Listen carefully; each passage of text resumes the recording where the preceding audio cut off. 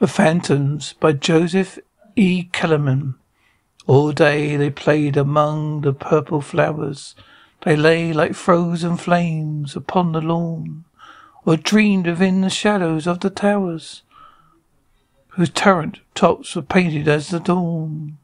Bright was the garden, peace went everywhere.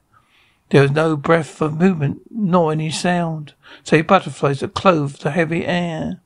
And when the bright fruit dropped slowly to the ground, then the flowers drooped from silver forms that tall.